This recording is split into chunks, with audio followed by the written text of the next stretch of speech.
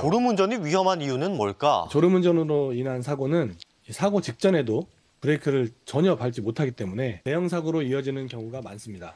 특히 위험한 곳은 고속도로입니다. 속도가 빠른 고속도로에서 시속 100km로 운전 중일 때는 4초만 졸아도 100m를 넘게 주행하는 것과 똑같기 때문에 고속도로에서 훨씬 더 위험하다고 할 수 있습니다. 이 졸음이 쏟아지는 이유도 있다는데요. 밀폐된 상태에서 장시간 운전을 하게 되면 차량 내 이산화탄소 농도가 증가함에 따라서 두통이나 졸음을 유발하는 등 졸음 운전 가능성이 커지게 됩니다.